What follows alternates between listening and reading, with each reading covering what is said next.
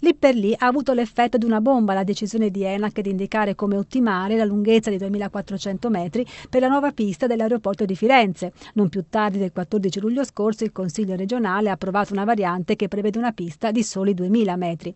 Ma a 48 ore dall'annuncio di ENAC, che di fatto è primo via libera al progetto, il governatore Enrico Rossi smorza i toni contro l'ente regolatore dell'aviazione civile e pur ricordando che la variante esiste e che lui deve tenerne conto, apre al confronto. Dobbiamo vedere il master plan di Pisa eh, che è già stato approvato, se avrà tempi di sviluppo e di realizzazione adeguati e accelerati.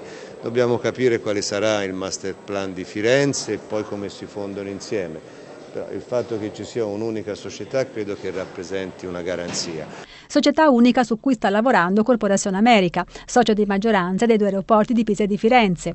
Entro la fine della settimana saranno presentate ai consigli di amministrazione di SAT e ADF, le società che gestiscono i due scali, le linee guida di un piano di fusione tecnico che prevede la seguente tempistica. Entro Natale che i consigli di amministrazione decidano la fusione entro gennaio che le assemblee votino la fusione. Corporation America quindi sta andando avanti a testa bassa, come dice Naldi, ma anche la politica a suo avviso deve fare la sua parte, velocemente.